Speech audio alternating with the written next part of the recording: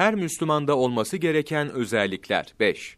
Zarafet, incelik, kibarlık, ince zeka eseri, hoş söz ve işlerle vasıflanma huyudur. Karşıtı kabalık denilen bir haldir. Bu ruhlar üzerine fena tesir yaptığından kötüdür. Yaratılışta olan zerafetler, ölçüyü taşırmamak şartıyla iyidir. Fakat her işte ve her sözde zerafet göstermeye çalışmak, vakar ve ciddiyete aykırıdır. Hafiflikten ibarettir. Onun için bu hususta aşırı davranmamalıdır. Merhamet, esirgemek, acımak, şefkat göstermek, çaresizlerin hallerine kalben acıyarak kendilerine yardımda bulunmak demektir. Merhamet, temiz ruhların bir süsüdür.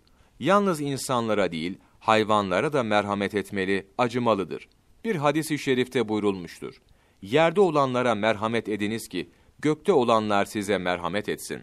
Rıfk, yumuşaklık, yavaşlık, nezaket ve tatlılıkla iş yapmak, sonu güzel olan bir şeye güzelce boyun eğmek anlamındadır. Bunun karşıtı unf, şiddet, sertlik, kabalıktır ki, katı yürekli olmaktan, sertlik göstermekten, nezakete aykırı davranmaktan ibarettir. İnsan yumuşaklık sayesinde en güç neticeleri elde edebilir. Düşmanca davranmak yüzünden de elde edilmesi pek yakın olan şeyleri imkansız bir hale getirmiş olur. Hadis-i şeriflerde buyrulmuştur. Şüphesiz ki Allah yumuşak huyludur ve yumuşak huyluluğu sever ve sertlik üzerine vermediği şeyi yumuşak huyluluk üzerine verir. Yumuşaklıktan yoksun olan hayırdan da yoksun bulunur.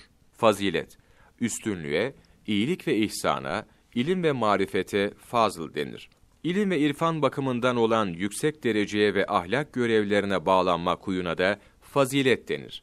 Fazlın karşıtı kötülük, hasislik ve cehalettir. Faziletin karşıtı da rezillik ve alçaklıktır.